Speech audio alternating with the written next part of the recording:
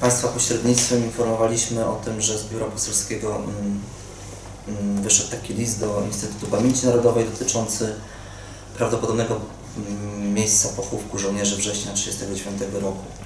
Otóż IPN bardzo szybko nam tu odpisał w tej sprawie.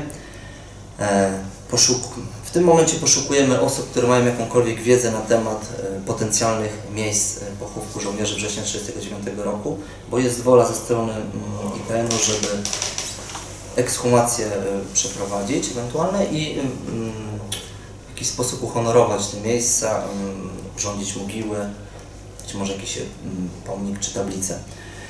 E, Bardzo szybko po tej informacji zgłosił się do biura poselskiego pan Andrzej Rolbiecki, znany Państwu historyk, tutaj nasz lokalny pasjonat historii, autor książki o wrześniu 1939 roku. Przekazał nam bardzo szczegółowe, bardzo dokładne materiały dotyczące e, miejsc pochówku przy ulicy Kościerskiej. Sam pamięta jeszcze jako dziecko, gdy w 50, że w 50 latach tam były przez ym, w dniu czy 1 września, czy 1 listopada zapalane znicze. Więc na pewno jest coś na rzeczy, że tam są, były e, ciała pochowane żołnierzy, którzy zginęli na początku II wojny światowej. W ubiegłym tygodniu zadzwoniła do nas pani z Gdańska, która w Dzienniku Bałtyckim przeczytała informację. Otóż ta pani jest córką żołnierza, który 2 września umarł w Chojnickim Szpitalu. Ta pani miała wtedy pół roku.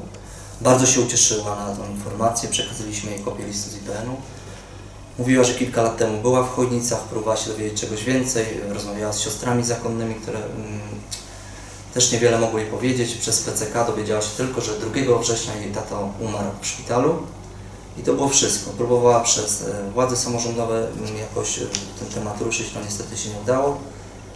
No ze łzami w oczach, w, w oczach naprawdę do nas dzwoniła i cieszyła się, że ten temat jest, daj Boże, że będzie miała możliwość mm, zabrania, zabrania no, zwłok pozostałości po swoim ojcu szczątków do, do Gdańska i tam będzie mogła się pomodlić na jego grobie. Także ten, do końca października czekamy na jakieś informacje ze strony Chojnicza, przekażemy wtedy do IPN-u i, i miejmy nadzieję, że ta sprawa będzie no, pozytywnie załatwiona.